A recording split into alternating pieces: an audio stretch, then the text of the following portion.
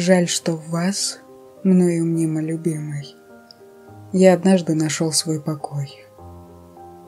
Ведь с какой неприступной силой вы решили мне стать чужой.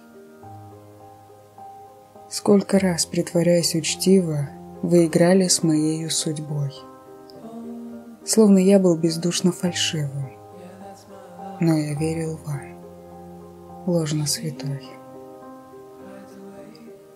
Растворившись в любви торопливо, я был слеп лишь одной красотой. Но за маской своей горделивой вы забыли, что я живой.